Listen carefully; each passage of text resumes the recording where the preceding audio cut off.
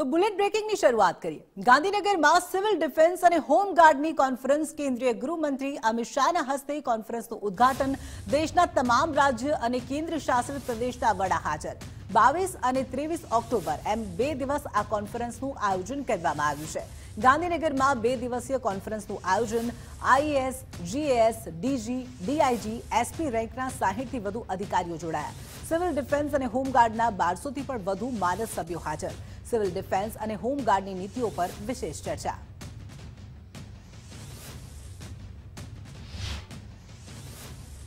નરેન્દ્રભાઈ મોદી અને દેશના ગૃહ અને પ્રથમ સહકારિતા મંત્રી શ્રી અમિતભાઈની જોડીએ દેશમાં સુદૃઢ કાયદો વ્યવસ્થા સુનિશ્ચિત કરી છે. ગુજરાતને સતત ત્રેવીસ વર્ષથી વડાપ્રધાન શ્રી નરેન્દ્રભાઈ મોદીના નેતૃત્વ અને માર્ગદર્શનનો લાભ મળ્યો છે.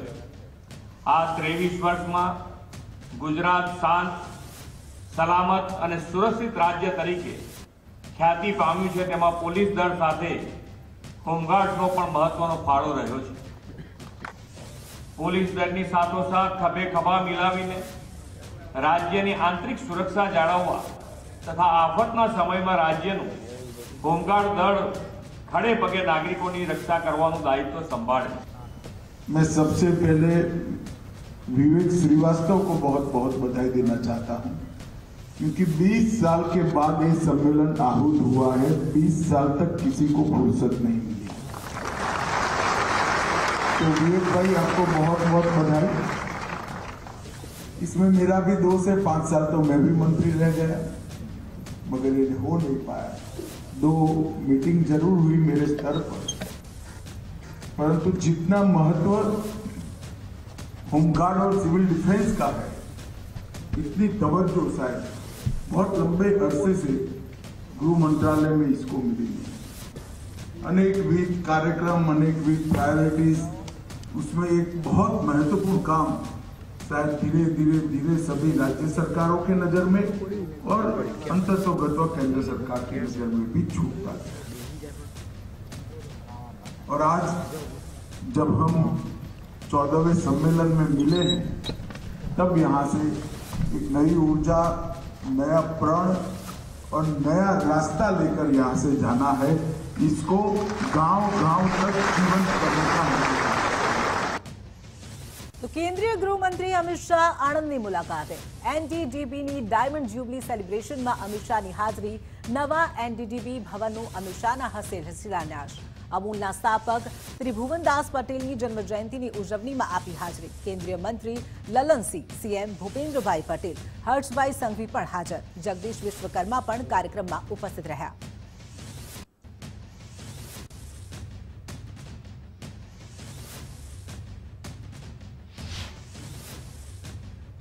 ગુજરાત નેશનલ લો યુનિવર્સિટીમાં લેજિસ્લેટિવ ડ્રાફ્ટિંગ તાલીમનો શુભારંભ. તાલીમ સમાપન કાર્યક્રમમાં કેન્દ્રીય ગૃહમંત્રી અમિત શાહ ઉપસ્થિત. મુખ્યમંત્રી ભૂપેન્દ્રભાઈ પટેલ પણ આ કાર્યક્રમમાં ઉપસ્થિત જોવા મળ્યા. રાજ્ય સરકારના મંત્રીઓ, ધારાસભ્યો અને સાંસદો પણ હાજર. વિધાનસભા ગૃહમાં વિધાનસભાના પાંચ પૂર્વ અધ્યક્ષ હાજર. પૂર્વ મુખ્યમંત્રી વિજય રૂપાણી પણ વિધાનસભામાં ઉપસ્થિત જોવા મળ્યા. ગુજરાત હાઈકોર્ટના એડવોકેટ જનરલ કમલ ત્રિવેદી સહિતના મહાનુભાવો હાજર. સરકારના સંધિ અધિકારીઓની અપાઈ રહી છે તાલીમ. ન્યાય પ્રણાલી સાથે જોડાયેલા કાયદાના નિષ્ણાંતો તાલીમ આપશે. નરેન્દ્રભાઈએ ગુજરાતના ગામે ગામ વીજળી પહોંચાડી છે તેમ અમિતભાઈ શાહે કહ્યું. તેમણે કહ્યું કે જ્યોતિ ગ્રામ યોજનાથી અનેક ગામડાઓમાં અંધારું દૂર થયું છે. મારા માટે આ રસનો વિષય છે. કાયદો લખવાની પ્રક્રિયા વૈજ્ઞાનિક પદ્ધતિએ હોવી જોઈએ. લેજિસ્લેટિવ ડ્રાફ્ટિંગમાં સૌથી મહત્વની વાત તેની સ્પષ્ટતા છે. ના. મુખ્યમંત્રી નરેન્દ્રભાઈને એક સંકલ્પ રજૂ કરતા જોયા. કે ગુજરાતના ગામે ગામમાં હું ચોવીસ કલાક વીજળી પહોંચાડીશ. નરેન્દ્રભાઈ એ સંકલ્પ રજૂ કર્યા પછી, જ્યારે પોતાની મુખ્યમંત્રીની ચેમ્બરમાં બેઠા હતા, ત્યારે વિરોધ પક્ષના નેતા શ્રી અમરસિંહ ચૌધરી હતા. એ મિત્ર ભાવે મળવા આવ્યા હતા.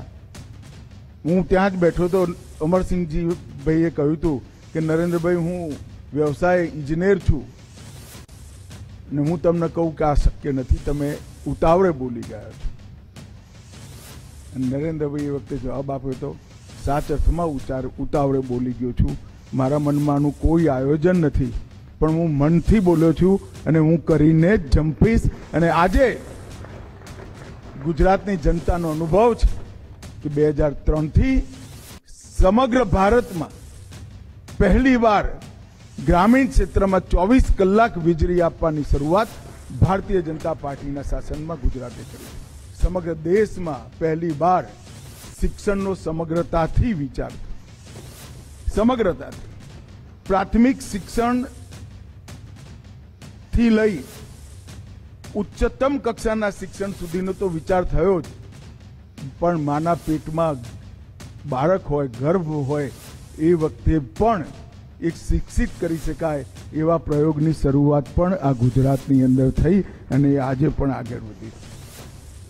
ધર્મ સ્વાતંત્ર્ય વિધેયક આજે પણ સુપ્રીમ કોર્ટના અનુમોદન પછી જે જે રાજ્યો પોતાના રાજ્યમાં ધર્મ પરિવર્તન અટકાવતા, અટકાવવા માંગતા હોય, એના માટે આદર્શ બની અને નુકસાન કરતા જાહેર સાહસોનો વિષય, એક વિશિષ્ટ ચર્ચાના સબ્જેક્ટમાં વિપક્ષના નેતાએ ઉઠાયા પછી નરેન્દ્રભાઈએ આપણા પીએસયુને નફો કરતા કરવા માટે જે પુરુષાર્થ કર્યો, જે આયોજન કર્યું અને બધા પીએસયુને લગભગ લગભગ નફો કરતા કર્યા, એ પણ આ જ વિધાનસભામાંથી કીર્તિમાનો અનેક રેકોર્ડો નરેન્દ્રભાઈએ રચવાનું કામ કર્યું. દસ વર્ષમાં સાહીઠ કરોડ લોકોના ઘરમાં એમને ઘર આપવાનું, ઘરમાં ગેસ આપવાનો, ઘરમાં વીજળી આપવાની, ઘરમાં શૌચાલય આપવાનું, ઘરની અંદર પાંચ કિલો અનાજ ફ્રી ઓફ કોસ્ટ આપવાનું, પાંચ લાખ સુધીની પૂરી દવાઓ આપવાની અનેકવિધ જનકલ્યાણના કામો. અને દસ વર્ષની અંદર પચીસ કરોડ લોકોને ગરીબી રેખાથી બહાર કાઢવાનું કામ જે ભારતની અંદર થયું, એની મૂળ અહીંયા આ વિધાનસભામાં શબ્દોમાં શણગાર એની અંદર પૂરી બિલ ઉપર ભાષણ કરતા જોવું તારે ખરેખર બિલના ઉદ્દેશો આગળ છાપેલા હોય, મંત્રીના નામથી. એ કેમ બિલ લાયા એ પણ છાપેલું હોય અને એના પરિણામો શું થશે એ પણ છાપે ઘણી વાર તો એ પણ નથી વાંચ્યું ધારાસભા, વિધાનસભા, વિધાન એટલે કાયદો. અને કાયદો ઘડવાવાળી સભા એટલે વિધાનસભા. આપણું મૂળ કામ જ કાયદો બનાવવાનું છે. પછી એ વાત ઠીક છે કે પ્રશ્નોત્તરીય હોય સ્પેશિયલ મેન્શન હોય, અલગ પ્રકારના સંકલ્પો લઈને આપણા એની પર ચર્ચા એ થાય, અવિશ્વાસની દરખાસ્ત આવે, વિશ્વાસની. એ બધી જ જનતાની વાચા, ભાવનાઓને વાચા આપવાની પ્રક્રિયા સમાહિત છે. પરંતુ મૂળ ઉદ્દેશ વિધાન રચવાનો છે, કાયદો રચવાનો એટલા માટે એનું નામ વિધાનસભા. જ્યાં વગર એમનો આપણે ઉપયોગ કરીએ, તો બનતાની સાથે જ આપણે કાયદાને એક પ્રકારથી એના ઉદ્દેશોથી ભટકાવવાનું કામ કરીએ. અને કાયદો ભાષા એમાં મહત્વની નથી, એના ઉદ્દેશો મહત્વના અને વિધાનસભાઓના કાયદા રાજ્યની ભાષાઓના અનુકૂળ પણ હોવા જોઈએ. કાયદો કોર્ટ કાયદાની અદાલતમાં પણ ટકવો જોઈએ અને લોકોને સમજમાં પણ આવવો જોઈએ. કાયદો, કાયદાને તોડવાવાળાને રોકવો પણ જોઈએ અને કાયદાનો અમલ કરવાવાળાને રક્ષણ પણ આપવું એ પ્રકારે એનું ડ્રાફ્ટિંગ કરવું. મેં કલ્પનાથી કરી કે વજુભાઈ સાહેબ ત્યાં બેઠા હોય અને હું અહીં બેઠો. વજુભાઈએ સ્પીકર તરીકે આ વિધાનસભાને ખૂબ મોજમાં રાખી. ગાંધીનગરમાં ભાજપ કાર્યાલય કમલમનું ખાતમુહૂર્ત. કેન્દ્રીય ગૃહમંત્રી અમિત શાહના હસ્તે ખાતમુહૂર્ત. સેક્ટર આઠમાં એક હજાર બારના પ્લોટમાં આકાર પામશે કમલમ. પાંચ માળનું વિશાળ ભવન સરિતા ઉદ્યાન સામે બનશે. દસ કરોડના ખર્ચે બનશે ગાંધીનગર કમલમ. કમલમ ભવનના નિર્માણના ફાળા માટે કુંભ રાખવામાં આવ્યો. કાર્યકરો પોતાની યથાશક્તિ મુજબ ફાળો આપી શકશે. ભાજપે અનેક સભ્યોને પક્ષ સાથે જોડ્યા છે, તેમ અમિતભાઈ શાહે કહ્યું. સદસ્યો બનાયા? તો શું આ સૌ સદસ્યો આપણા કાર્યકર્તા છે? ના, એ ભારતીય જનતા પાર્ટીના શુભેચ્છક છે, સદસ્ય બન્યા છે. આપણા કામના આધાર પર આપણી વિચારધારાની સ્વીકૃતિથી આપણી કાર્ય સંસ્કૃતિમાં એમને પલોટીને એમને કાર્યકર્તા બનાવવાનું કામ આપણે કરવું પડે, ત્યારે એ શુભેચ્છક, એ સદસ્ય કાર્યકર્તામાં પરિવર્તિત અને આ કાર્યકર્તા બનાવવાની પ્રક્રિયા, કાર્યકર્તાને ટ્રેન કરવાની પ્રક્રિયા, કાર્યકર્તાનું સાતત્ય સતત એને પાર્ટી માટે જોડી રાખવાની પ્રક્રિયા એ કાર્યાલય કરતું અડવાણી જેવા આપણા દિગ્ગજ નેતાઓ હારી જાય અને એક પણ કાર્યકર્તા દેશમાં પાર્ટી ના છોડે, તે દિવસે નક્કી થઈ જાય કે આ પાર્ટીનું ભવિષ્ય ઉજ્જવળ છે. અને ભારતીય જનતા પાર્ટીએ બે હજાર ચૌદથી ચોવીસ પાછું વારી જોયું. મેણા લાગતા કે ઉત્તર ઉત્તરના પ્રદેશોની પાર્ટી, આ પશ્ચિમના પ્રદેશોની પાર્ટી આજે આપણે આંધ્રપ્રદેશમાં પણ સરકાર બનાવી. ઓરિસ્સામાં સરકાર બનાવી, આસામમાં સરકાર બનાવી, ત્રિપુરામાં સરકાર બનાવી, અરુણાચલમાં સરકાર બનાવી, રાજસ્થાન, મધ્યપ્રદેશ, ગુજરાત, છત્તીસગઢમાં સરકાર બનાવી અને મહારાષ્ટ્ર અને ઝારખંડમાં સરકાર બનવાની જે તમે મન બનાવીને રાખજો બસો ચાલીસ સીટો કોંગ્રેસ પાર્ટીને ચૌદ, ઓગણીસ અને ચોવીસ ત્રણે ભેગા થઈ બસો ચાલીસ નથી મળી. ત્રણ વખતની ચૂંટણીમાં ભેગા થઈ બસો ચાલીસ નથી મળી. અને નરેન્દ્રભાઈ દેશનું નેતૃત્વ કરે છે અને આપણા નરેન્દ્રભાઈ વડાપ્રધાન તરીકે વકફનું બિલ પણ લઈને આવ્યા અને આજે હું તમારા બધાની સામે કહી દઉં છું, ડંકાની ચોટ પર વકફનું બિલ પણ પાસ થઈ જશે. અને આજે રુચિરભાઈએ આ કાર્યાલયની જો ભૂમિપૂજન કર્યું છે રુચિરભાઈનો ધન્યવાદ કરવા માગું છું કે આજે એમને મારા હાથે બસો ઇકોતેરમાં કાર્યાલયનું ભૂમિપૂજન કરાવ્યું છે રુચિરભાઈ, હવે દેશમાં. હું પાર્ટી અધ્યક્ષ હતો ત્યારે મેં અભિયાન ઉપાડેલું. બસો સિત્તેર કાર્યાલયોનું ભૂમિપૂજન થયું હતું. આજે બસો ઇકોતેરમું તમારા હાથે થયું છે ભાઈ. તમારો ખૂબ ખૂબ ધન્યવાદ. અને આપણા ગાંધીનગરના સૌ મહાનગરના કાર્યકર્તાઓને હું હૃદયપૂર્વક શુભેચ્છા આપું છું. તમે સૌ કરજો. એક અજય ભારતીય જનતા પાર્ટી, જેને ક્યારેય પરાજયનો સ્વાદ ના ચાખવો પડે, એવી ભારતીય જનતા પાર્ટીનું નિર્માણ આપણું લક્ષ્ય હોય. અને બે હજાર સુડતાલીસમાં પૂર્ણ વિકસિત ભારત. અને દરેક ક્ષેત્રમાં વિશ્વમાં નંબર એક ભારત રચવાની આપણી નેમ આપણે સૌ સાથે મળી પૂરી પાડીએ. તો કાયદામાં પરિવર્તન અંગે પણ અમિતભાઈ શાહનું મોટું નિવેદન સામે આવ્યું છે. લેજિસ્લેટિવ ડ્રાફ્ટિંગ અંગે તાલીમ વર્કશોપમાં બોલ્યા અમિતભાઈ, અંગ્રેજોએ કાયદો પોતાનું રાજ ચલાવવા બનાવ્યો હતો. કાયદો પહેલા અંગ્રેજો દ્વારા દંડ આપવા માટેનો હતો. હવે કાયદો નાગરિકોને ન્યાય અપાવવા માટેનો છે. ત્રણેય કાયદાઓમાં પરિવર્તન લાવવાનો પ્રયાસ કર્યો છે. ત્રણ જ વર્ષમાં ન્યાય મળી જાય એવી વ્યવસ્થા ઊભી કરીશું તેમ તેમણે કહ્યું. બહુ જ વિદ્વાન વ્યક્તિ સાથે મેં ડિસેમ્બર બે હજાર ઓગણીસમાં શરૂઆત કરી હતી કે એમાં કાયદાનું મૂળ આત્મા શું હોવું? તો કહ્યું હતું કે અંગ્રેજોએ આ કાયદો પોતાનું રાજ બતાવવા માટે કર્યો પોતાનું રાજ્ય બચાવવા માટે ને પોતાનું રાજ્ય ચલાવવા માટે. હવે આ કાયદો આપણા નાગરિકને ખરાબ લોકોથી બચાવવા માટે કરવું એનો મૂળ ઉદ્દેશ અંગ્રેજોનો ઉદ્દેશ દંડ આપવાનો હતો. આપણો ઉદ્દેશ નાગરિકને ન્યાય આપવાનો એની સજ્જને આપેલી સલાહને મારા વિભાગે ખૂબ મનપૂર્વક સ્વીકારી ત્રણેય કાયદાઓની અંદર આમૂલચૂર પરિવર્તન લાવવાનો પ્રયાસ. હું વિશ્વાસ સાથે તમને સૌને કહેવા માંગુ છું, મીડિયાની હાજરીમાં કહેવા માંગુ છું કે ત્રણ ચાર વર્ષ પછી આનો સંપૂર્ણ અમલ જ્યારે થઈ જશે પછી દેશના કોઈ પણ પોલીસ સ્ટેશનમાં થયેલી ફરિયાદ સુપ્રીમ કોર્ટ સુધી ત્રણ વર્ષની અંદર દરેક નાગરિકને ન્યાય મળી જાય એ પ્રકારની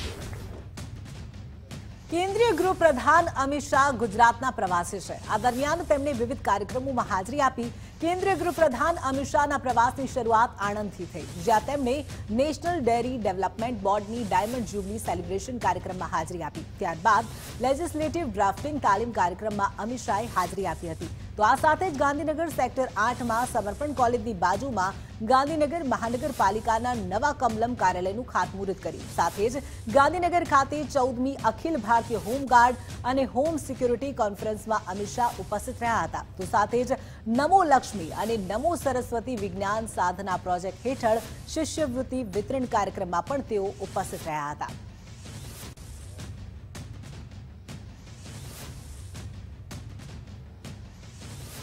મહેસાણામાં કેન્દ્રીય ગૃહમંત્રી અમિત શાહના જન્મદિવસની ઉજવણી કરવામાં આવી. અમિતભાઈ શાહના જન્મદિવસ નિમિત્તે સેવાકીય કાર્યક્રમો યોજાયા. કાર્યક્રમમાં રાજ્યસભા સાંસદ મયંક નાયક સહિત અગ્રણીઓ હાજર રહ્યા. જિલ્લા ભાજપ પ્રમુખ ગિરીશ રાજગોર પણ ઉપસ્થિત રહ્યા. આંખની તપાસના કેમ્પ સહિતના કાર્યક્રમો રખાયા તેમ સાંસદ મયંક નાયકે કહ્યું.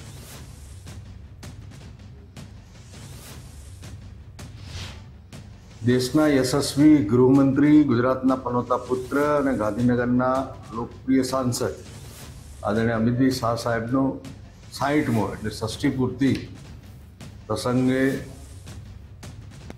રાજ્યસભાના સાંસદ તરીકે, ભારતીય જનતા પાર્ટીના કાર્યકર્તા તરીકે મહેસાણા જિલ્લાના સૌ કાર્યકર્તાઓને સાથે રાખી અનેક કાર્યક્રમો રાખ્યા છે.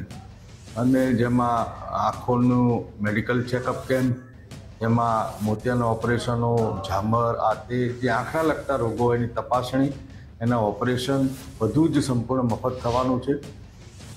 મહેસાણાના ઊંઝામાં કેન્દ્રીય ગૃહમંત્રીના જન્મદિવસની ઉજવણી કરવામાં આવી. ઊંઝામાં અમિતભાઈ શાહના જન્મદિવસ નિમિત્તે વિવિધ કાર્યક્રમોનું આયોજન. જન્મદિવસ નિમિત્તે કરાયા સેવાકીય કાર્યો. બસો બહેનો માટે ઊંઝાથી અંબાજી સુધી નિઃશુલ્ક પ્રવાસ કરાયો. મહિલાઓ અંબાજી અમિતભાઈ શાહના દીર્ઘાયુ માટે પ્રાર્થના કરશે. તો ઊંઝા એપીએમસીના પૂર્વ ચેરમેન દિનેશભાઈ પટેલે આ આયોજન કર્યું હતું. ગુજરાત ગાંધીનગરના સાંસદ અમિત શાહ સાહેબનો આજે જન્મદિવસ છે એટલે લોકો ખૂબ જ ઉત્સાહ છે. એ નિમિત્તે અહીંયા ઊંઝા અને આજુબાજુના ગામડાના લગભગ બસો ત્રીસ જેટલી બહેનો લક્ઝરી મારફતે આજે અંબાજી અહીંયા ઊંઝા ઉમિયા માતા દર્શન કરી, તારંગા અને અંબાજી જશે. અંબાજી માતાજીનો ઉપર ધ્વજ ચડાવશે અને ત્યાં પૂજા અર્ચના કરી અને અમિતભાઈ માટે ખૂબ જ શુભેચ્છાઓ અને એમના માટે દુઆઓ પાઠવશે ડીસામાં કેન્દ્રીય ગૃહમંત્રીના જન્મદિવસની અનોખી રીતે ઉજવણી કરવામાં આવી.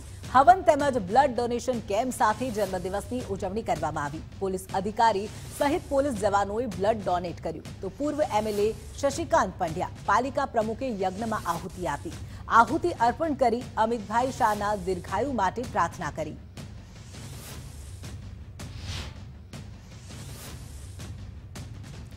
દિલ્હીમાં મળતા પનીરને લઈને કેન્દ્રીય મંત્રીનું મોટું નિવેદન સામે આવ્યું છે.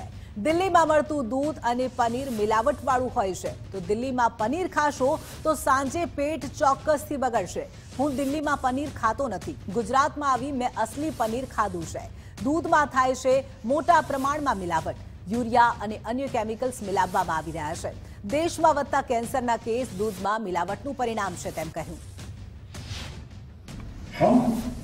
आज तक हम पिछली बार आए थे आनंद और एनडीडीबी के चेयरमैन ने हमसे कहा कि आप पनीर खाइए हम उसके पहले दिल्ली में पनीर नहीं खाते इसलिए कि पनीर में सबसे ज़्यादा मिलावट है। अगर किसी दिन दिल्ली में खुले बाज़ार का पनीर आप खा लीजिए, रात में आपका पेट ज़रूर खराब होना है। निश्चित है इसको परीक्षण करके देखिए વડાપ્રધાન નરેન્દ્ર મોદી ફરી એકવાર ગુજરાતની મુલાકાતે. પીએમ મોદી અને સ્પેનના પીએમ આવશે વડોદરાના પ્રવાસે. બંને દિગ્ગજ નેતાના આગમનને લઈને શહેરને શણગારવામાં આવ્યું છે. વડોદરા શહેરને રોશનીથી શણગારાયું છે. રંગબેરંગી રોશનીથી જળહળી ઉઠ્યું વડોદરા શહેર. એરક્રાફ્ટ પ્લાન્ટની એસેમ્બલી લાઇનનું ઉદ્ઘાટન કરવામાં આવશે. તો એરપોર્ટથી ટાટા એરક્રાફ્ટ કોમ્પ્લેક્સ સુધી પીએમ મોદીનો ભવ્ય રોડ શો યોજાશે. સ્પેનના વડાપ્રધાન પેડ્રો સાન્ચેસ પણ વડોદરાની મુલાકાતે આવશે. પીએમ મોદી અને સ્પેનના વડાપ્રધાન પેડ્રો સાન્ચેસનો રોડ શો યોજાશે. વડાપ્રધાનના આગમનને લઈને યુદ્ધના ધોરણે કામગીરી કરવામાં આવી રહી છે.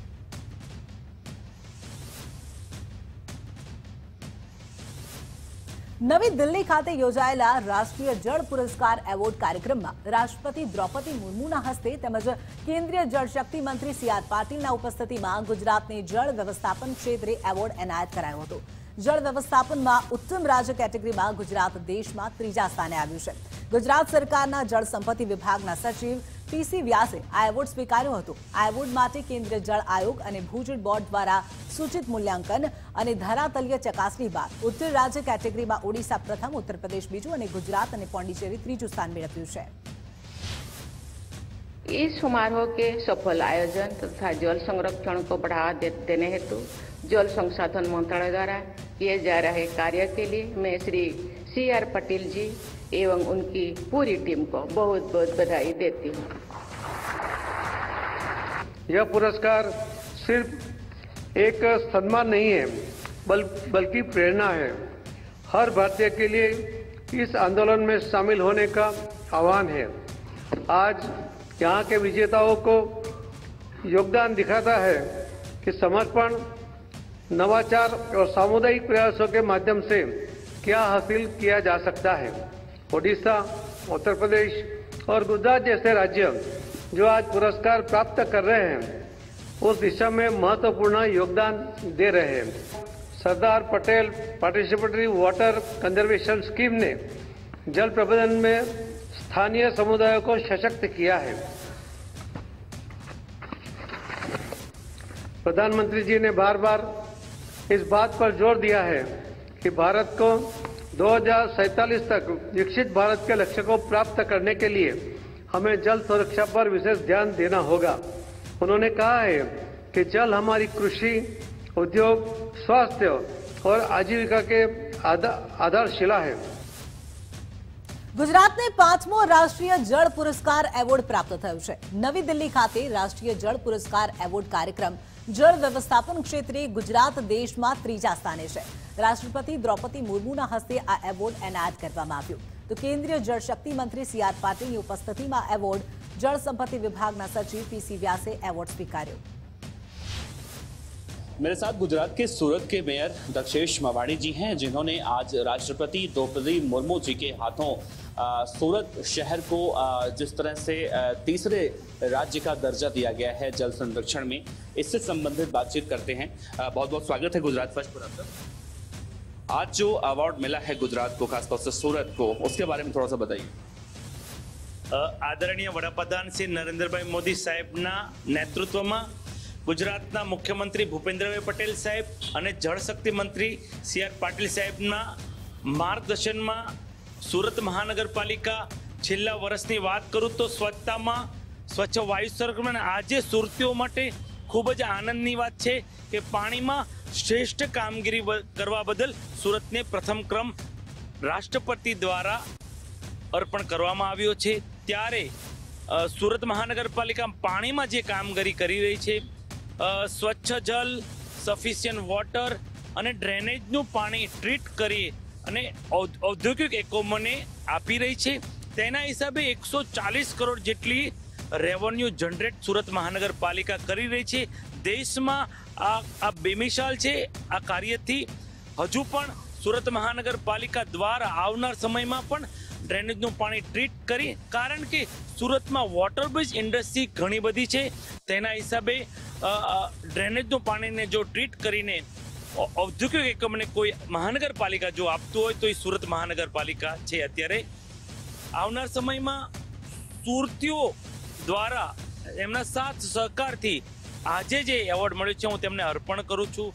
આવનાર સમયમાં તમામ સુરતીઓના સાથ સહકારથી અમારા તમામ ચૂંટાયેલા પ્રતિનિધિઓ દ્વારા, સુરત મહાનગરપાલિકાના અધિકારીઓ દ્વારા, આવનાર સમયમાં વધુ સુરતને વિકસિત કરવા અમે સૌ પ્રયત્નશીલ રહીશું आ, बात करें पूरे देश की तो गुजरात श्रेणी में कितने नंबर पर आ रहा है अभी गुजरात आज वो तीसरा नंबर पे अ, पानी में पुरस्कार गुजरात सरकार को मिला है अच्छा इसका क्रेडिट किसको देना चाहेंगे मैं इसका क्रेडिट हमारा जो सरकार है आदरणीय वड़ा प्रधान श्री વ- આ- આ- આદરણીય વડાપ્રધાન શ્રી નરેન્દ્રભાઈ મોદી સાહેબનો જ આ ડ્રીમ પ્રોજેક્ટ હતો કે વેસ્ટમાંથી બેસ્ટ બનાવો એટલે અમે વેસ્ટ વોટરમાંથી રિસાયકલિંગ કરીને આ જે ઔદ્યોગિક એકમો- એકમોને આવી રહ્યા છે આવનાર સમયમાં બીજી મહાનગરપાલિકામાં પણ સુરત महानगरपालिका एक आइडोल तरीके उभरी આવી છે शुक्रिया बात करने के लिए तो बिल्कुल साफ तौर से सूरत महानगर पालिका के मेयर अ, अ, मेवाड़ी साहब हैं जिनका साफ तौर से कहना है कि सूरत महानगर पालिका अ, जिस तरह से अ, वाटर ट्रीटमेंट करके इतना रेवेन्यू जनरेट कर रही है जो न सिर्फ सूरत महानगर पालिका बल्कि गुजरात अ, राज्य के लिए बहुत ही फायदेमंद साबित हो रहा है कैमरामैन अ, गौरव के साथ देवनाथ पांडे गुजरात फर्स्ट दिल्ली તો બુલેટ બ્રેકિંગમાં સમાચારો યથાવત રહેશે પરંતુ હાલ રોકાઈશું એક નાનકડા વિરામ માટે આપ જોતા રહો ગુજરાત ફર્સ્ટ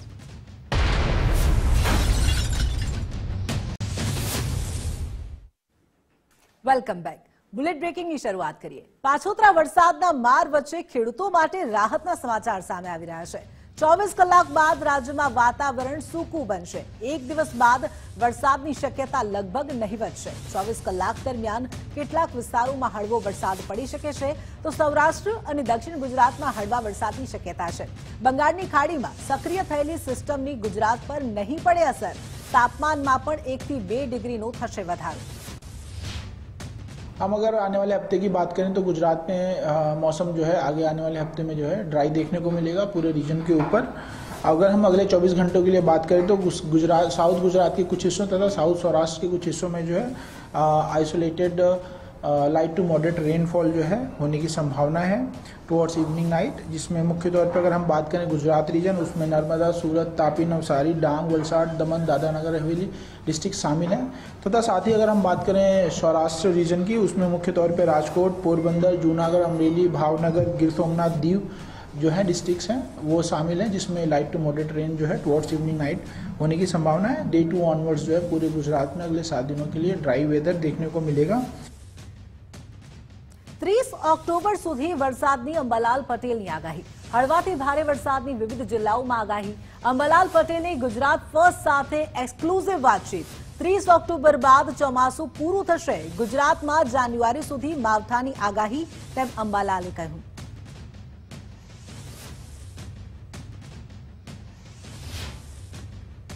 ગુજરાતમાં છેલ્લા ચોવીસ કલાકમાં સડસઠ તાલુકાઓથી પણ વધારે અલગ અલગ જગ્યાઓ પર વરસાદ જોવા મળ્યો છે. હળવોથી ભારે વરસાદની આગાહી હજુ પણ આગામી દિવસોમાં કરવામાં આવે છે. ત્યારે આ વરસાદની ચોમાસાની આજે નવી નવી ઇનિંગ આપણને જોવા મળી રહી છે. વરસાદ એ રાજ્યમાં ક્યાં સુધી રહેવાનો છે? ચોમાસું એ રાજ્યની અંદર ક્યાં સુધી રહેશે? કેવો વરસાદ પડશે આગામી દિવસોમાં? જેના વિશે આપણે વાત કરીશું હવામાન નિષ્ણાંત અંબાલાલ પટેલની સાથે. અંબાલાલજી, જી, અંબાલાલજી આગામી દિવસોમાં કેવો વરસાદ રહેવાનો છે? રાજ્યમાં કેવો વરસાદ રહેશે આગામી દિવસોમાં? આગામી દિવસોમાં વરસાદ અંગે જોઈએ તો ચોવીસ ઓક્ટોબર આસપાસ તારીખ સુધીમાં ક્યાંક કોઈ ઠેકાણે વરસાદ થવાની શક્યતા રહે છે. પરંતુ તારીખ ચોવીસ ઓક્ટોબર પછી ગરમી વધવાની શક્યતા રહે છે, જેમાં કચ્છના ભાગોમાં મહત્તમ ઉષ્ણ તાપમાન આડત્રીસ ડિગ્રી સેલ્સિયસ જેવું થવાની શક્યતા રહે. જ્યારે મધ્ય ગુજરાતમાં વડોદરાના ભાગોમાં સાડત્રીસ ડિગ્રી સેલ્સિયસ કે તેની આસપાસ થવાની શક્યતા રહે, અમદાવાદમાં પાંત્રીસ ડિગ્રી સેલ્સિયસ કે તેની આસપાસ થવાની શક્યતા રહે, સુરતમાં બત્રીસ તેત્રીસ ડિગ્રી સેલ્સિયસ જેવું મહત્તમ ઉષ્ણતામાન થવાની શક્યતા રહે, એટલે મહત્તમ ઉષ્ણતામાન વધતું જશે હમણાં. અને ગરમી વચ્ચે આકરી. આકરી ગરમી વચ્ચે એક સિસ્ટમ બદલી શકે? એટલે હમણાં ખેડૂત ભાઈઓ માટે કંઈક સારા સમાચાર કહી શકાય. પણ ચૂક ગઈ છે. હવે સારા કે ખરાબ સમાચાર આપણે કંઈ કરીને કરવાનું છું જે ખેડૂત ભાઈઓને નુકસાન થયું છે. ગીર સોમનાથના ગીર ગઢડાની આસપાસ વરસાદ. ગ્રામ્ય વિસ્તારમાં પડ્યો ધોધમાર વરસાદ. ભારે વરસાદના કારણે ખેડૂતોના પાકને નુકસાન. મગફળી, સોયાબીન અને કપાસના પાકને નુકસાન. સતત લાંબા સમયથી વરસાદ ખાબકતા ખેડૂતો હેરાન પરેશાન.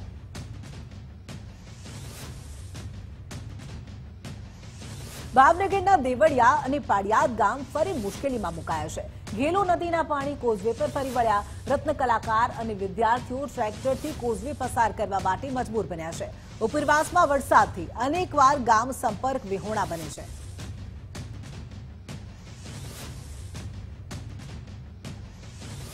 કચ્છના માંડવી તાલુકામાં ભારે પવન સાથે વરસાદ. વીંટ, મોડકુબા બાબદાઈ કોકલિયા વિસ્તારોમાં વરસાદ નોંધાયો છે. તો પાછોતરા વરસાદને લઈને ધરતીપુત્રોમાં પાક નુકસાનીની ચિંતા જોવા મળી રહી છે.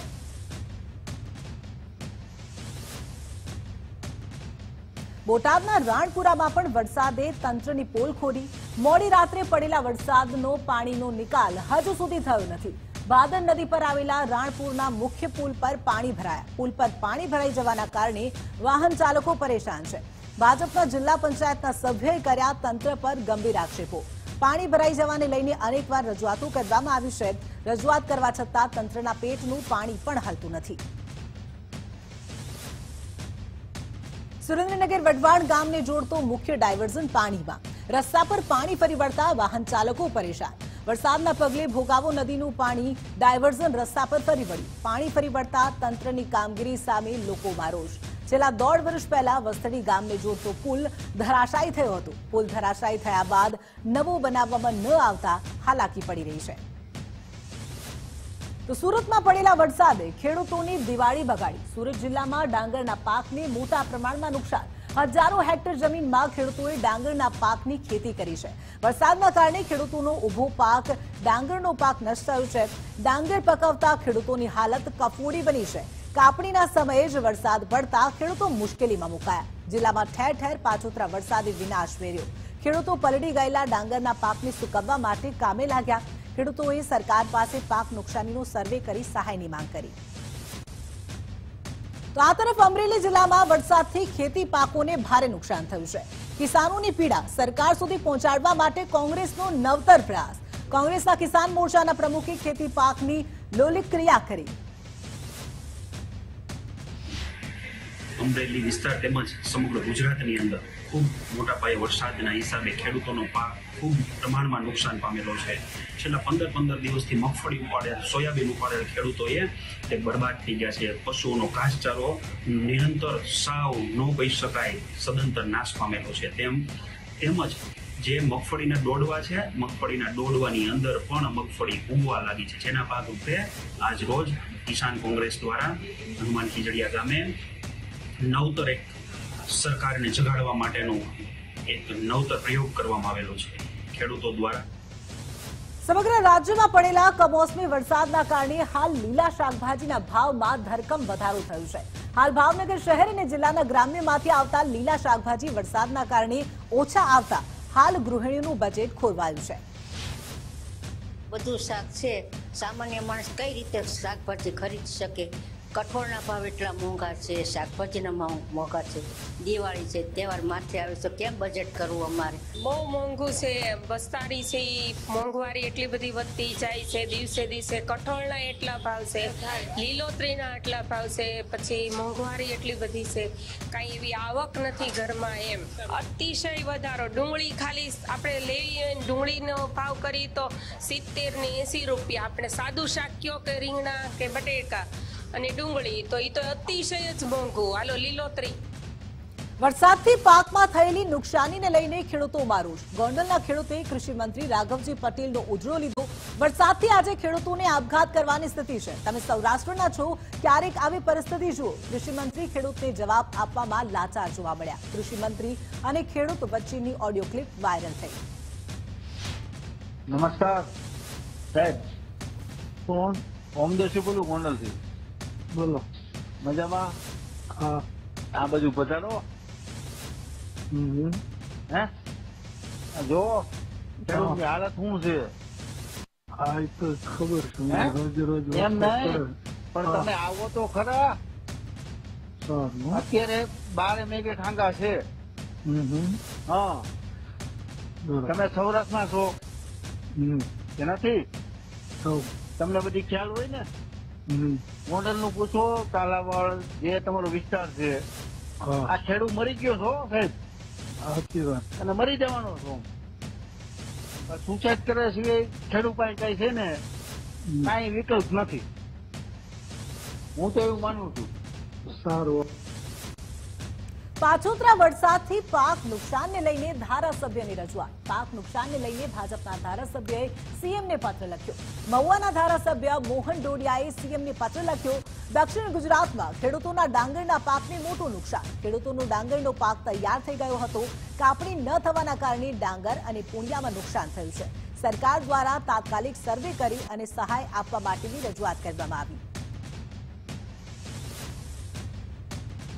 અમરેલીના લાઠીમાં વીજળી પડવાથી મોતનો મામલો. લાઠીના એમએલએ મૃતક પરિજનોના નિવાસસ્થાને પહોંચ્યા.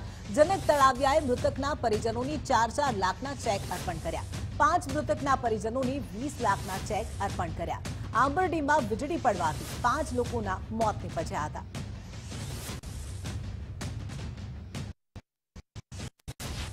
ધોરણે સરકાર અને વહીવટી તંત્ર દ્વારા પગલાં લઈ અને આ પરિવારને સરકાર દ્વારા જે કંઈ સહાય મળવાપાત્ર હોય છે, તેની આગળની કાર્યવાહી કરી અને આજે આ પરિવારને સરકાર દ્વારા રૂપિયા વીસ લાખ રૂપિયા, એટલે કે દરેક જે મૃત્યુ પામ્યા છે એ વ્યક્તિને ચાર ચાર લાખ રૂપિયાની સહાય આજે સરકાર દ્વારા આપવામાં આવી અમરેલી જિલ્લાના માર્કેટિંગ યાર્ડમાં કપાસની મબલક આવક અતિવૃષ્ટિથી પરેશાન ખેડૂતો કપાસને લઈને પહોંચ્યા યાર્ડમાં. અમરેલી, સાવરકુંડલા અને બાબરામાં કપાસની મબલક આવક. અમરેલી યાર્ડમાં પચીસ અને બાબરા યાર્ડમાં ત્રીસ હજાર મણની આવક. સાવરકુંડલા યાર્ડમાં ત્રીસ હજાર મણ કપાસની આવક. દિવાળીના વેકેશનને લઈને ખેડૂતો કપાસ લઈને ઉમટ્યા. ત્રણ યાર્ડમાં પંચ્યાસી મણ કપાસની આવક થઈ. ખેડૂતોને ભાવ સારા મળતા ખુશીની લાગણી જોવા મળી.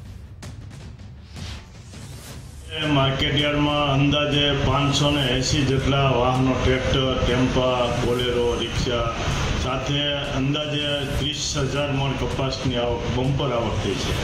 અને હરાજીમાં અત્યારે હરાજી ચાલુ છે. હરાજીમાં ભાવ પણ બારસોથી લઈને પંદરસો ને એંસી સુધીના કપાસના ભાવ રહ્યા છે. દિવાળીના તહેવારોને અનુલક્ષીને તથા વરસાદી વાતાવરણ હિસાબે આ કપાસ ઘરે રાખી ના શકાય એટલે ભેજવાળો હોય. એટલે ખેડૂતો પણ વેચવા માટે પૈસાની જરૂર હોય. એ તાત્કાલિક યાર્ડમાં લાવે છે. એટલે આજે બમ્પર આવક થઈ છે. અંદાજે ત્રીસ હજાર મણની આવક થઈ વરસાદના કારણે ખેડૂતોના પાકને મોટા પ્રમાણમાં નુકસાન. ખેડૂતોના પાક નુકસાનને લઈને કોંગ્રેસ હવે મેદાનમાં. કોંગ્રેસે ખેડૂતોના પાક નુકસાનમાં વળતર મળે તેવી માંગ કરી છે. સરકાર નિયમ મુજબ લીલો દુષ્કાળ જાહેર કરે તેવી માંગ. એકસો વરસાદ પડતા લીલો દુષ્કાળ જાહેર કરવાની માંગ. કોંગ્રેસના ખેડૂતો માટે દસ કરોડના પેકેજ જાહેર કરે તેવી માંગ. ખેડૂત સહાયને લઈને અઠ્યાવીસ તારીખે કોંગ્રેસ આંદોલન શરૂ કરશે. સૌરાષ્ટ્રનું સંમેલન છ તારીખે રાજકોટમાં સંમેલન કરશે. સરકાર તાત્કાલિક ધોરણે ખેડૂતોને સહાય ચૂકવે તેવી માંગણી. સરકારનું ધ્યાન ખેંચવા માંગી છે કે જો તમે આવતા દિવસોમાં ખેડૂતોની સામે નહીં જુઓ અને જે કુદરતી આફતમાં ખેડૂતો બરબાદ થઈ રહ્યા છે, એ ખેડૂતોને દસ હજાર કરોડની સહાયનું પેકેજ જાહેર નહીં કરો, તો હવે ખેડૂતોના સહારે અમે તમારી સામે રોડ ઉપર ઉતરશું, એમાં બે મત નથી. ખેડૂતો માટે દસ હજાર કરોડ રૂપિયાનું પેકેજ સરકારે જાહેર કરવું જોઈએ. એ માગણી સાથે સમગ્ર ગુજરાતની અંદર આંદોલનના કાર્યક્રમો શરૂ કરવાના છીએ.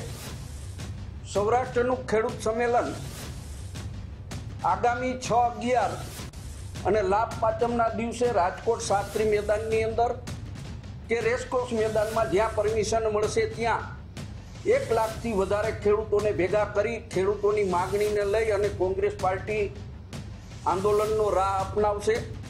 રાજ્ય સરકાર દ્વારા જે સર્વેની પદ્ધતિ બનાવવામાં આવી છે, તાલુકાને બ્લોક તરીકે ગણવામાં આવે છે, તાલુકાવાર સર્વે કરવામાં આવે છે. વરસાદને એવી ખબર નથી હોતી કે તાલુકાની સરહદમાં હું વરસું વરસાદ ગમે તેવો પડી શકે એવું ના હોય કે તાલુકાની હદની અંદર વરસાદ હોય એટલે સરકારની જે આ સર્વે કરવાની સિસ્ટમ છે એ ખોટી છે ખરેખર. જે જગ્યાએ વધુ વરસાદ થયો હોય એ પ્રમાણે સાચો સર્વે થઈ અને ખેડૂતોને વળતર ચૂકવવું જોઈએ. સરકારની વેબસાઇટ ઉપર એકસો ને ચાર તાલુકાઓ છે કે જ્યાં એકસો ચાલીસ ટકાથી ત્રણસો પંચાણું ટકા વરસાદ પડેલો છે. આ એકસો ને ચાર તાલુકાઓમાં લીલો દુષ્કાળ જાહેર કરવામાં આવે. ત્યાં નિયમો અનુસાર સાત કિલોમીટરની ત્રિજ્યામાં ઘાસચારા વિતરણ કેન્દ્રો, કારણ કે પાક બધો જ ઘાસચારો પલળી ગયો છે. અને નિયમો અનુસાર સાત કિલોમીટરની ત્રિજ્યામાં ઘાસચારા વિતરણ વિતરણ કેન્દ્રો ઊભા કરવામાં આવે કેટલ કેમ્પો ચાલુ કરવામાં આવે, અને જે પશુઓ છે, જેના ભાજપ ગાયને ચૂંટણી હોય ત્યારે માતા માને છે. અત્યારે લીલો દુષ્કાળ જાહેર કરે તો એક પશુ દીઠ સરકારે ઓછામાં ઓછા પચીસ રૂપિયા આપવા પડે એમ છે.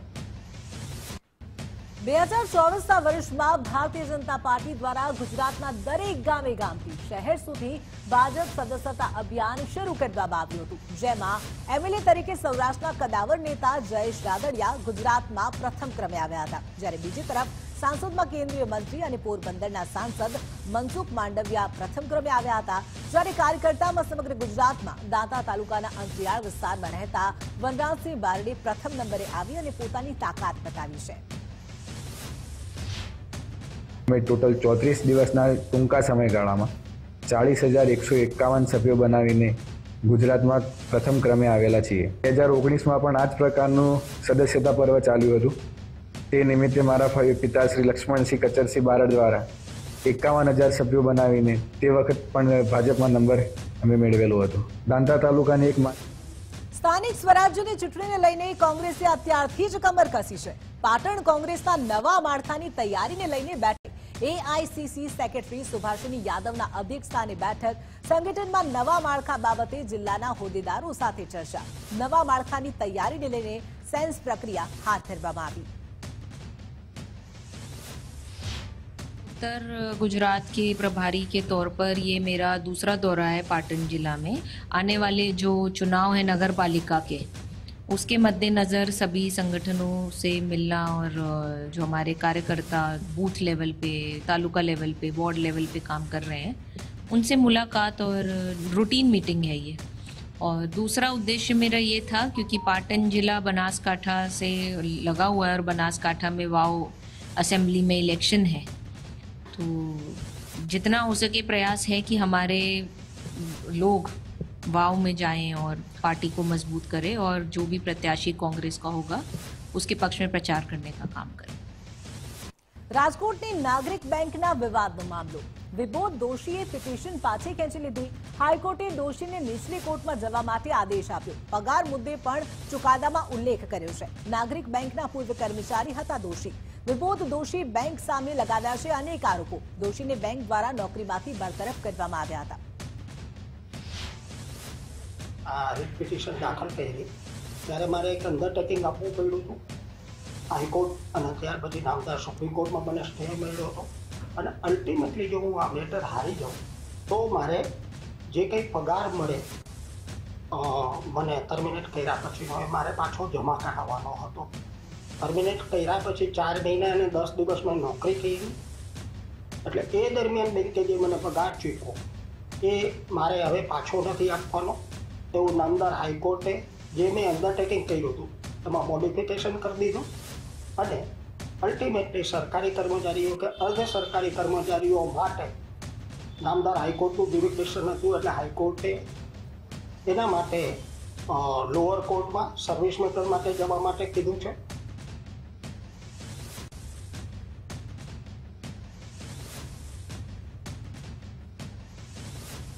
તો બુલેટ બ્રેકિંગમાં હાલ બસ આટલું જ. વધુ સમાચારો માટે આપ જોતા રહો ગુજરાત ફર્સ્ટ. નમસ્કાર.